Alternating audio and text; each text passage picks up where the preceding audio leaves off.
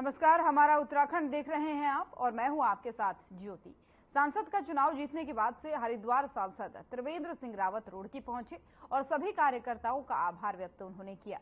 वहीं आपको बता दें कि इस दौरान उन्होंने कहा कि अगर मंत्री पद के लिए उन्हें नहीं चुना गया तो ये मीडिया दिल्ली के नेताओं से सवाल करे। साथ ही उन्होंने ये कहा कि वो हरिद्वार में रह रहे, हरिद्वार की जनता के हित में काम करेंगे और साथ ही हरिद्वार में किसान और मजदूर सभी तरह के लोगों ने, जो उन्हें उनका साथ दिया है, उसके वो सदैव आभारी रहेंगे।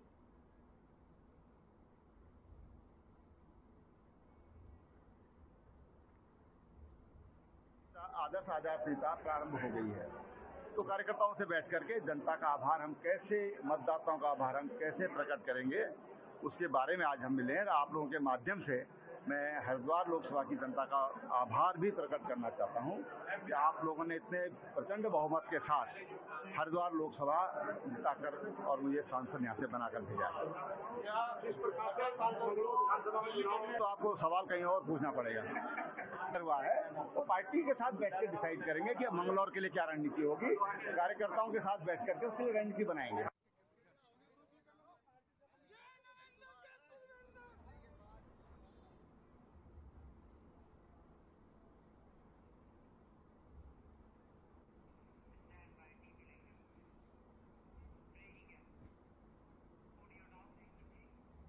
और देहरादून से अब बड़ी खबर सामने आ रही है, जहाँ पर केंद्र में बनी नई सरकार। उत्तराखंड को मिली है सौगात। उत्तराखंड सरकार को केंद्रीय केंद्र में नई ज़िम्मेदारी मिली है।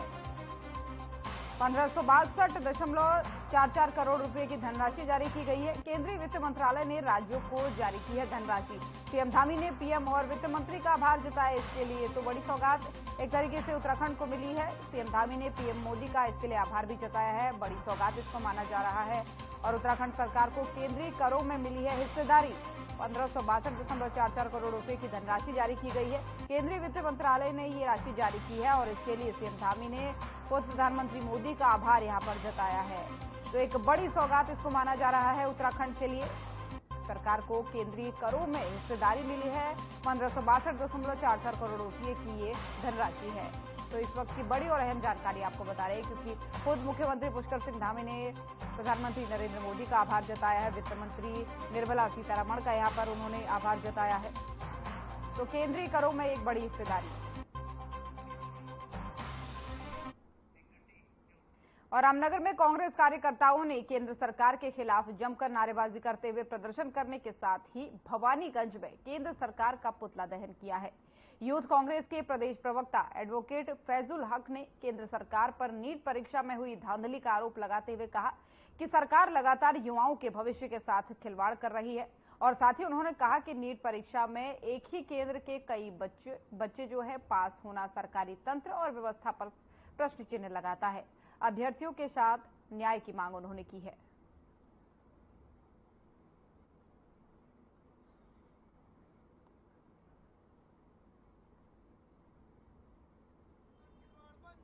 ये नीट की जो परीक्षाएँ पूरे देश में आयोजित की गई, भारत सरकार द्वारा इसमें बृहद स्तर पर धांधली है और ये नौजवानों के साथ, युवाओं के साथ एक बहुत बड़ा धोखा है।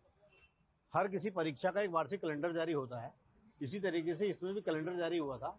इसका परीक्षा चौदह तारीख को घोषित होना था। जिस दिन पूरे देश में लोकसभा की चुनाव की मतगणना हो रही थी, उस दिन इसको जो है षड्यंत्र के तहत नीट के रिज़ल्ट को आउट किया गया। और उसमें इतनी बड़ी धांधली है कि एक ही सेंटर के लोग जो है बिल्कुल टॉप आ गए, पूरे देश के अंदर सात सौ बीस अंक ले आए। और इसमें जो मार्किंग का सिस्टम है उसके हिसाब से भी इन्होंने इस तरीके से होना ही नहीं चाहिए था। जी केंद्र सरकार के खिलाफ हमने आज पुतला दहन किया है यहाँ कांग्रेस ने। आ, मामला यह है कि नीट परीक्षाओं में जो धांधली हुई है जिसमें छात्रों के भविष्य के साथ खिलवाड़ हो रहा है जो बच्चे तैयारी करते हैं उनको मौका नहीं मिलता और ये जो है धांधली करके अपने जो हितैषी लोग हैं उनको अनाप शनाप अंकों से और एक ही सेंटर में आठ बच्चों का जो है पूरे अंक लाना ये सब जो है इस परीक्षा पे और इस परीक्षा व्यवस्था पे सवाल खड़े करता है। उसकी जाँच के लिए और उस परीक्षा को रद्द करने के लिए आज कांग्रेस ने यहाँ रामनगर में पुतला दहन किया है।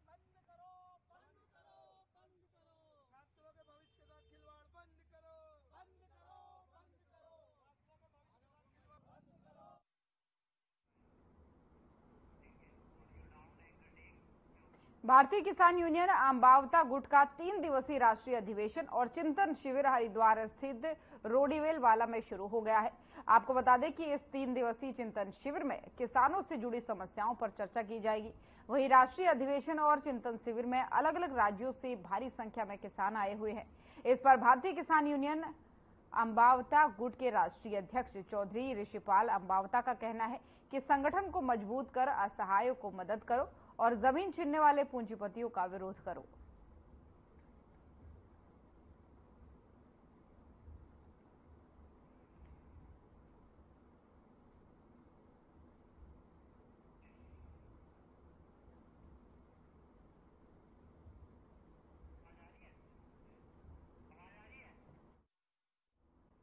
तो हरिद्वार से आपको ये खबर बता रहे हैं, जहाँ पर किसानों से जुड़ी समस्याओं की चर्चा के लिए जो है कई राज्यों में से भारी संख्या में किसान यहाँ पर एकत्रित हुए और तीन दिवसीय एक चिंतन शिविर का आयोजन किया गया और इस चिंतन शिविर में आपको बता दें, किसानों से जुड़े तमाम मुद्दे, तमाम समस्याओं और तमाम मुद्दों पर जो है यहाँ पर चर्चा की गई और कई राज्यों के किसान यहाँ पर शामिल हुए। आप जैसा कि देख सकते हैं, तीन दिवसीय चिंतन शिविर था।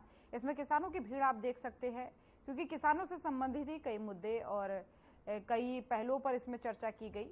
राष्ट्रीय अधिवेशन और चिंतन शिविर के नाम से ये तीन दिन, तीन दिवसीय शिविर चलाया गया, जिसमें आपको बता दें कि इसमें कई राज्यों के किसान पहुँचे हैं और किसानों से संबंधित विषयों पर और मुद्दों पर इसमें चर्चा की जा रही है।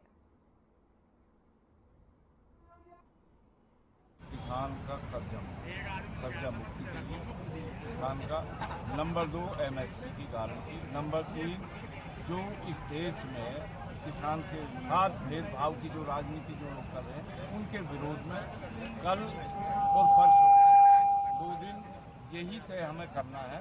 और चुनाव की बात रही, चुनाव तो ना तो इसकी खुशी, ना इसका गम। भाई, सरकार तो किसी की भी नहीं बनी। और ये जो सरकार बनी है, ये बैसाखी की सरकार है। छह महीने चले, आठ महीने चले, दस महीने अब आपको क्या लगता है कि रजिया गुंडों में फंस गई? बहुत तुम ही कहो मैं तो ये नहीं कहूँगा, पर मैं ये कह रहा हूँ, अब ये जितने भी आए हैं, ये सरकार चलाने वाले नहीं है।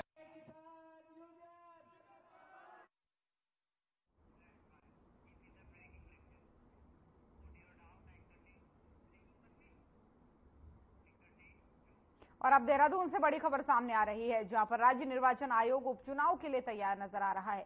बद्रीनाथ मंगलौर विधानसभा सीट पर होना है उपचुनाव और बद्रीनाथ विधानसभा सीट में बनाए जाएँगे 210 पोलिंग बूथ। मंगलौर विधानसभा सीट में बनाए जाएँगे 132 पोलिंग बूथ। वहीं बद्रीनाथ में एक लाख दो हज़ार एक सौ पैंतालीस मतदाता है तो वहीं पच्चीस सौ छियासठ है सर्विस सेंटर।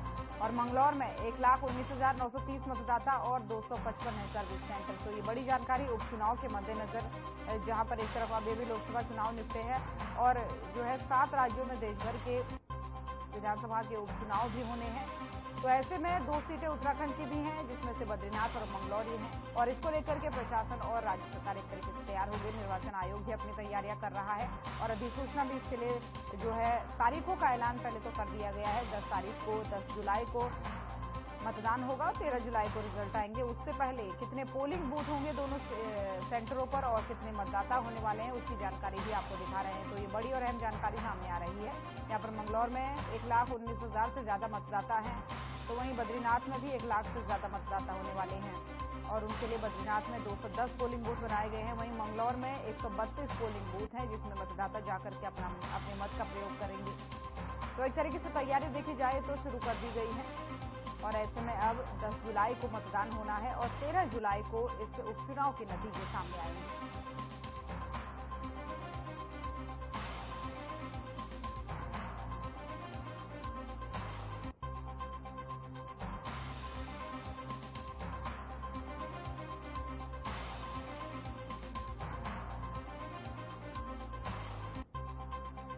तो और बद्रीनाथ विधानसभा सीट पर उपचुनाव होने हैं तो ऐसे में बीते दिनों तारीखों का ऐलान भी हो गया था।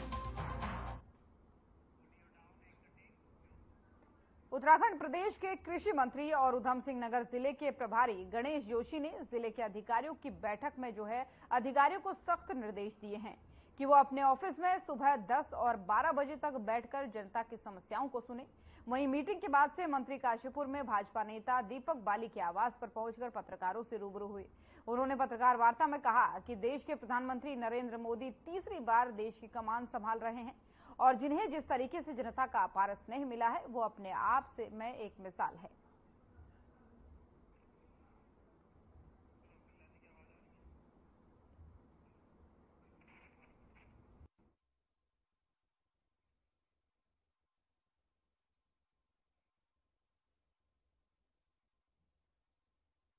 जहाँ मोदी जी देश के प्रधानमंत्री बने हैं। वहीं इस ज़िले से एक विधानसभा को छोड़कर अन्य सभी विधानसभाओं से भारतीय जनता पार्टी के प्रत्याशी अजय भट्ट जी को प्रचंड बहु समर्थन मिला है और उत्तराखंड में सबसे ज़्यादा मतों से माननीय अजय भट्ट जी विजयी हुए मैं उसके लिए यहाँ की जनता का आभार लिए आया हूँ। और इस प्रकार से मोदी जी ने पहली कैबिनेट में किसानों की चिंता की है। किसान सम्मान निधि की सत्रहवीं किस्त बीस हज़ार करोड़ रुपए जारी कर दिए हैं। इसी प्रकार तीन करोड़ आवास बनाने की घोषणा करने का निर्णय उसमें लिया है। मैं प्रधानमंत्री जी का आभार व्यक्त करता हूँ।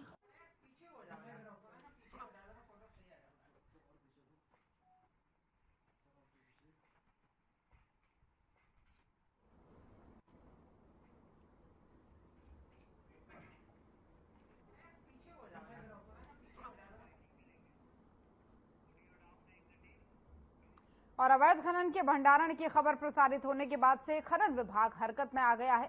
विभाग ने अवैध खनन के भंडारण करने वालों पर शिकंजा कसने की तैयारियाँ शुरू कर दी हैं। हरिद्वार के विभिन्न क्षेत्रों में अवैध खनन का भंडारण किया जा रहा है।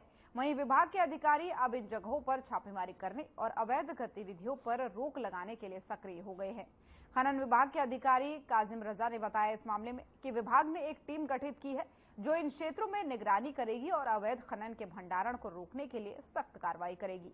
वहीं इस अभियान के तहत विभाग कई जगहों पर छापेमारी करेगा और अवैध खनन सामग्री को लेकर भी, जो है यहाँ पर छापेमारी की जाएगी और अवैध खनन सामग्री को जब्त किया जाएगा।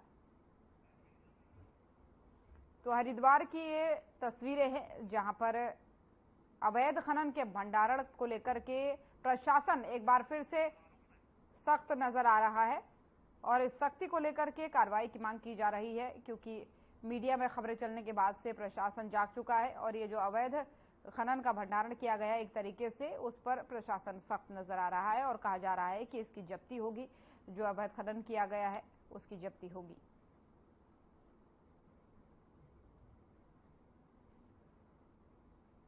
की बात है, संयुक्त टीम एसडीएम साहब के साथ भी एक बार संयुक्त निरीक्षण करा गया था, तब भी भंडारों पर अधिरोपित किया गया था पेनल्टी।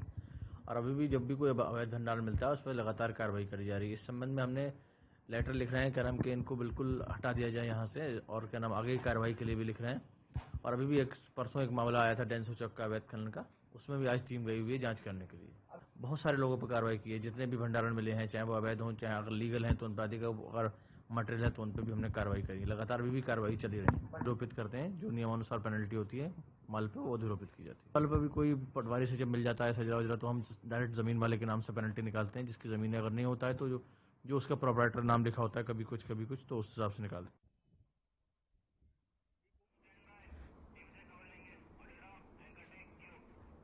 मानसून जल्द दस्तक दे सकता है, जिसको लेकर के मुख्यमंत्री पुष्कर सिंह धामी ने अधिकारियों को निर्देश जारी कर दिए हैं कि 15 जून से पहले मानसून के दृष्टिगत सभी तैयारियाँ पूरी कर ली जाए।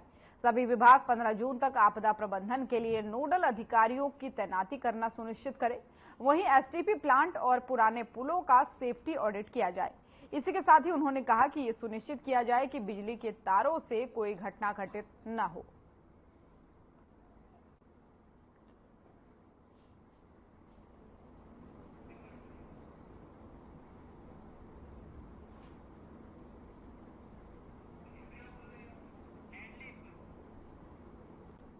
तो ये देहरादून से ये तस्वीरें आपको दिखा रहे हैं, जहाँ पर मानसून को लेकर के सरकार अब एक्शन मोड में नज़र आ रही है।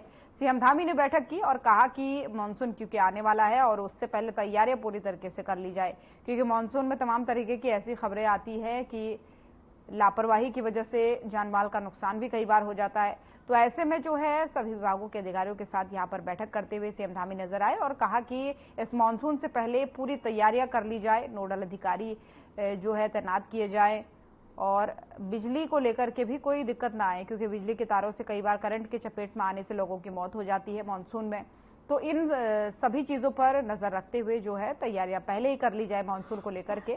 सीएम धामी ये सख्त निर्देश देते हुए यहाँ पर नज़र आए। और उसी बैठक की ये तस्वीरें हैं। क्योंकि मानसून में तमाम तरीके के नुकसान होता है प्रदेश में तो ऐसे में जो है पहले ही प्रशासन और सरकार सख्त नज़र आ रही है। और सरकार का कहना है कि किसी भी तरीके की लापरवाही न बरती जाए।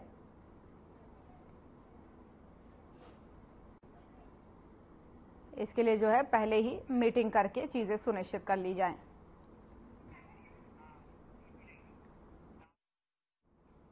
और मानसून को देखते हुए चार धाम यात्रा में स्वास्थ्य व्यवस्थाओं पर धामी सरकार एक्टिव मोड में काम करने की तैयारी में है। जिसे लेकर के स्वास्थ्य मंत्री डॉक्टर धन सिंह रावत की अध्यक्षता में बैठक की गई। तो वहीं इस बात पर स्वास्थ्य मंत्री डॉक्टर धन सिंह रावत ने कहा कि अब डेंगू के प्रकोप की दस्तक होने की शुरुआत होगी और लगभग तीन महीने से आचार संहिता के चलते कई अधूरे काम पूरे करने हैं। इसे देखते हुए हम समीक्षा बैठक करेंगे। साथ ही उन्होंने ये भी कहा कि लगभग 1500 नर्सिंग स्टाफ की भर्ती हम करने जा रहे हैं और लगभग 10,000 युवाओं को हम नौकरी देने जा रहे हैं।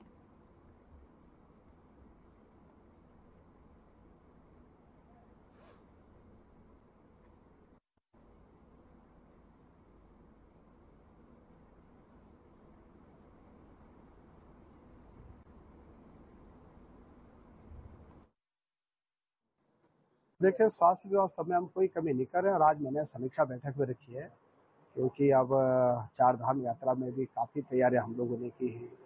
अभी फिर डेंगू का भी शुरुआत होने वाली है तो उसके लिए भी आज बैठक रखी है।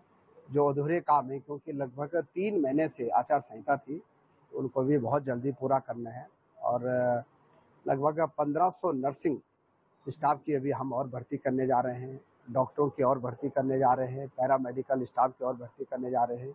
इस साल हम लगभग दस हज़ार युवाओं को नौकरी देना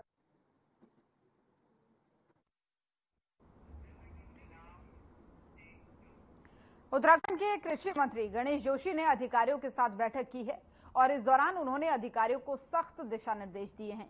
अपने ऑफ़िस में सुबह 10 से 12 बजे तक दोपहर जनता की समस्याओं को सुनने को कहा है। और मीटिंग के बाद से गणेश जोशी, बीजेपी नेता दीपक बाली के आवास पर पहुँचे और इस दौरान उन्होंने कहा कि देश के प्रधानमंत्री नरेंद्र मोदी तीसरी बार देश की कमान संभाल रहे हैं और उन्हें जिस तरीके से जनता का अपार स्नेह मिला है, वो अपने आप में एक मिसाल है।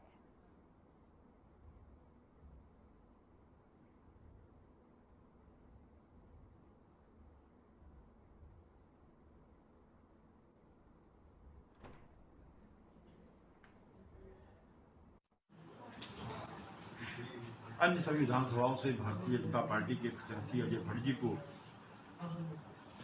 प्रचंड बहु समर्थन मिला है और उत्तराखंड में सबसे ज़्यादा मतों से माननीय अजय भट्ट जी विजयी हुए मैं उसके लिए यहाँ की जनता का आभार करने के लिए आया हूँ। और इस प्रकार से मोदी जी ने पहली कैबिनेट में किसानों की चिंता की है। किसान सम्मान निधि की सत्रहवीं किस्त बीस हज़ार करोड़ रुपए जारी कर दिए हैं। इसी प्रकार तीन करोड़ आवास बनाने की घोषणा करने का निर्णय उसमें लिया है। मैं प्रधानमंत्री जी का आभार व्यक्त करता हूँ।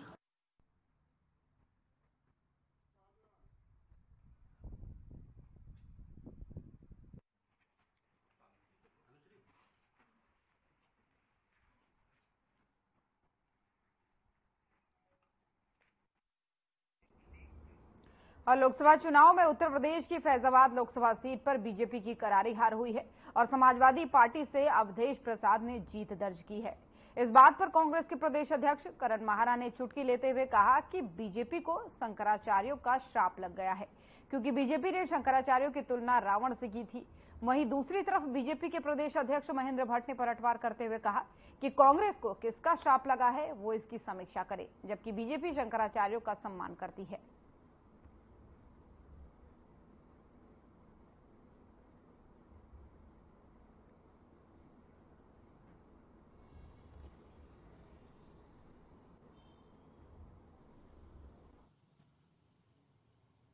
बीजेपी को शंकराचार्य जी का श्राप लग गया है। शंकराचार्य जी जो सनातन धर्म के अधिष्ठा है जिन्हें उन्हें तय करना होता है कि समय और काल के, के हिसाब से हमको किस तरीके से आगे बढ़ना है किस तरीके से काम करना है उन शंकराचार्य की तुलना भारतीय जनता पार्टी के संगठन के लोगों ने रावण से की थी। और उसी का दुष्परिणाम है कि अयोध्या और उसके साथ लगी हुई छह विधानसभाओं में बीजेपी का प्रदर्शन बहुत खराब रहा। और देश में भी आप देखेगा आने वाले कुछ दिनों में तस्वीर साफ़ हो जाएगी। इंडिया गठबंधन अपनी सरकार बनाने जा रहा है। कांग्रेस अपने पर किसका श्राप है, उसकी समीक्षा करे। भारतीय जनता पार्टी श्राप इतना देश के अंदर सरकार बन चुकी है। एनडीए की सरकार बनी, भाजपा देश की सबसे बड़ी पार्टी आज भी उभरी है। इसलिए कहाँ श्राप पड़ा, कितना श्राप पड़ा, वो जनता देख रही है। भारतीय जनता पार्टी अपने शंकराचार्य का सम्मान करती है। भव्य राम मंदिर का निर्माण मोदी जी के शासन काल में हुआ है। ये क्षणिक कुछ विषय होते हैं, जिन विषयों को लेकर एक पूरा ऐसी शक्तियाँ देश के अंदर भारत के मान बिंदुओं के प्रति जो सम्मान का भाव नहीं रखते हैं, जब वो एकत्रित होकर कोई निर्णय करते हैं तो उसका दुष्परिणाम दिखाई देता है। लेकिन भविष्य उन सब दुष्परिणामों को से भी हम निपटने की रणनीति बनाएँगे। देश के एक शातिर चोर को दून पुलिस ने पकड़ने में कामयाबी हासिल की है। आपको बता दें कि अभियुक्त मुंशीराम पर पहले भी देहरादून में तीन मामले चोरी के दर्ज हैं जिसे बड़ी मुशक्कत के बाद से दून की मित्र पुलिस ने गिरफ़्तार किया। और इस बात को लेकर के देहरादून के एसपी सिटी प्रमोद कुमार ने कहा कि तीन चोरी के मामलों को देखते हुए हमारी एसओजी टीम और मुखबिर को भी अलर्ट कर दिया गया है। साथ ही उन्होंने ये भी कहा कि अभियुक्त नशे का आदि था और अकेले ही चोरी की घटनाओं को अंजाम देता था। जिसके जिसके साथ जो है, उसके कब्जे से लगभग 16 लाख रुपए की ज्वेलरी भी बरामद की गई है।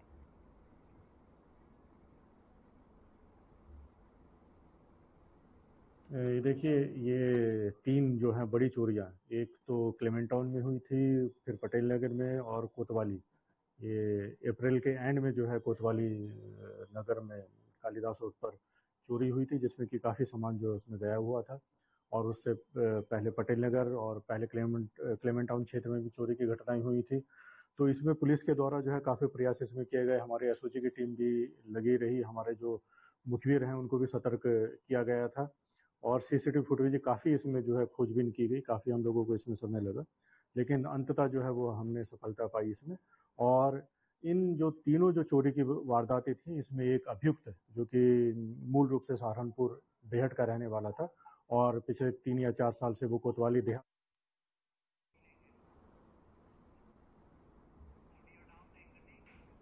और उत्तराखंड के प्रसिद्ध भगवान श्री विश्वनाथ और माँ जगदीश शिला डोली रथ यात्रा काशीपुर पहुँची।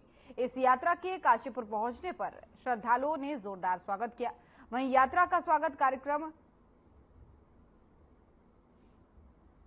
स्वागत कार्यक्रम आपको बता दें, बड़ा ही भव्य किया गया और रामनगर रोड पर यह कार्यक्रम हुआ। मेहरोत्रा इंटरप्राइजेस पर आयोजित किया गया। डोली रथ यात्रा के मुख्य पुरोहित, उत्तराखंड के पूर्व शिक्षा मंत्री प्रसाद नैथानी रहे। इस दौरान रथ यात्रा के मुख्य पुरोहित मंत्री प्रसाद नैथानी ने इसके पौराणिक महत्व के बारे में बताया और और उस स्थान पर ये डोली चलती है। आपको बता दें, उन्होंने कहा कि विशोन पर्वत में धर्मगुरुओं ने तपस्या की, उसके बाद से स्वामी राम तीर्थ ने तपस्या की और उस स्थान पर यह डोली चलती है।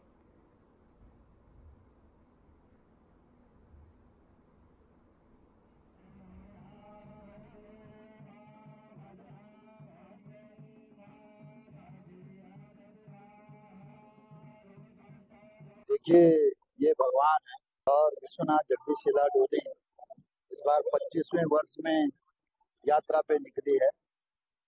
16 मई से हरिद्वार से। और अब तक आपके स्वामी विश्वनाथ माँ जगदीशिला की पच्चीसवीं टोली भ्रमण यात्रा का यहाँ मैं संपूर्ण मल्होत्रा परिवार यहाँ पर श्रीमती पीना मल्होत्रा जी अर्पित मल्होत्रा जी राकेश मल्होत्रा जी और उनके तमाम परिवार के साथियों से निवेदन करूँगा कि भगवान विश्वनाथ माँ की पवित्र रथ यात्रा का आशीर्वाद मैं अपने आप को बहुत सौभाग्यशाली समझता हूँ कि ये यात्रा आज हमारे स्थान पे आके इन्होंने हमें आशीर्वाद दिया और विश्व कल्याण के लिए बहुत समृद्धि की बात है मुझे बहुत ही आप लोगों के बहुत धन्यवाद दिया जाता हूँ कि भरी धूप में आप लोग यहाँ पे आए और यात्रा का सफल बनाने का एहसास करा। दस हज़ार पाँच सौ किलोमीटर ये यात्रा चलती है। काशीपुर में एक स्थान है और ऐसे ही पूरे महीने, पूरे उत्तराखंड में दस हज़ार पाँच सौ किलोमीटर चलना एक बहुत बड़ी बात है। हर पवित्र धाम जाती है। हज़ार से ज़्यादा मंदिर जाते हैं। तो मैं यात्रा वालों को बहुत बहुत धन्यवाद देता हूँ कि इतना कठिन काम वो करते हैं और पूरे उत्तराखंड वासियों को अपना आशीर्वाद।